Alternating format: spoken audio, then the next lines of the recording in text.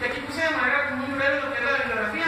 Es la página que les pongo, obviamente le tiran al presidente de la universidad, y de, los, parte de los a donde, donde tiran mucho al presidente Miguel de Mati a este personaje en específico, Carlos Serrano. Y hablan de de que todos los territorios que estuvieron los tuvieron por medio de derechos ilícitos, venta de droga. Sería muy interesante que alguien como yo siguiera buscando este personaje.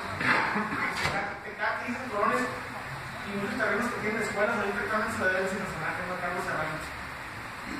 Entrevisté, a Refugio Franco Aceves en mayo de 2013 con el proyecto de, de.